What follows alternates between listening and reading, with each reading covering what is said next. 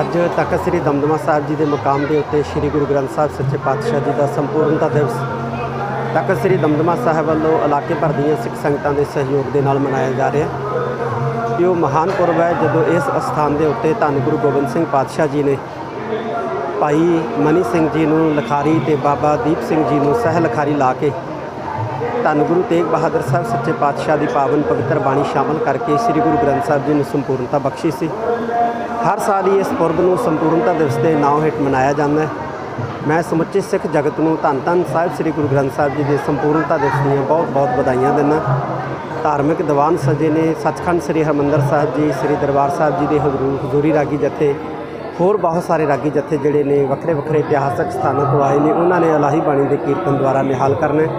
ਇੱਕ ਵਾਰੀ ਫਿਰ ਮੈਂ ਸਾਰੀ ਸੰਗਤ ਨੂੰ ਬਹੁਤ ਬਹੁਤ ਬਹੁਤ ਬਹੁਤ ਅੱਜ ਦੇ ਇਸ ਮਹਾਨ ਦਿਨ ਦੀਆਂ ਬਹੁਤ ਬਹੁਤ ਵਧਾਈਆਂ ਦਿੰਦਾ ਵਾਹਿਗੁਰੂ ਜੀ ਕਾ ਖਾਲਸਾ, ਵਾਹਿਗੁਰੂ ਜੀ ਕੀ ਫਤਿਹ। ਅੱਜ ਤਖਤ ਸ੍ਰੀ ਦਮਦਮਾ ਸਾਹਿਬ ਜੀ ਦੇ ਮੁਕਾਮ ਦੇ ਉੱਤੇ ਸ੍ਰੀ ਗੁਰੂ ਗ੍ਰੰਥ ਸਾਹਿਬ ਸੱਚੇ ਪਾਤਸ਼ਾਹ ਜੀ ਦਾ ਸੰਪੂਰਨਤਾ ਦਿਵਸ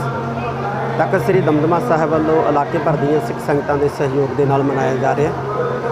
ਇਹ ਉਹ ਮਹਾਨ ਪੁਰਬ ਹੈ, ਜਦੋਂ ਇਸ ਅਸਥਾਨ ਦੇ ਉੱਤੇ ਧੰਨ ਗੁਰੂ ਗੋਬਿੰਦ ਸਿੰਘ ਪਾਤਸ਼ਾਹ ਜੀ ਨੇ ਭਾਈ ਮਨੀ ਸਿੰਘ ਜੀ ਨੂੰ ਲਖਾਰੀ ਤੇ ਬਾਬਾ ਦੀਪ ਸਿੰਘ ਜੀ ਨੂੰ ਸਹਿ ਲਖਾਰੀ ਲਾ ਕੇ ਧੰਨ ਗੁਰੂ ਤੇਗ ਬਹਾਦਰ ਸਾਹਿਬ ਸੱਚੇ ਪਾਤਸ਼ਾਹ ਦੀ ਪਾਵਨ ਪਵਿੱਤਰ ਬਾਣੀ ਸ਼ਾਮਲ ਕਰਕੇ ਸ੍ਰੀ ਗੁਰੂ ਗ੍ਰੰਥ ਸਾਹਿਬ ਜੀ ਨੂੰ ਸੰਪੂਰਨਤਾ ਬਖਸ਼ੀ ਸੀ।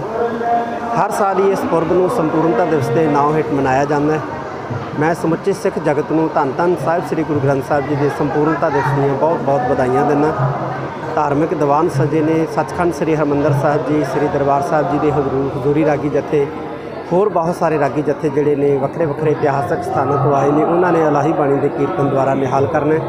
ਇੱਕ ਵਾਰੀ ਫਿਰ ਮੈਂ ਸਾਰੀ ਸੰਗਤ ਨੂੰ ਬਹੁਤ ਬਹੁਤ ਬਹੁਤ ਬਹੁਤ ਅੱਜ ਦੇ ਇਸ ਮਹਾਨ ਦਿਨ ਦੀਆਂ ਬਹੁਤ ਬਹੁਤ ਵਧਾਈਆਂ ਦਿੰਦਾ। ਵਾਹਿਗੁਰੂ ਜੀ ਕਾ ਖਾਲਸਾ, ਵਾਹਿਗੁਰੂ ਜੀ ਕੀ ਫਤਿਹ।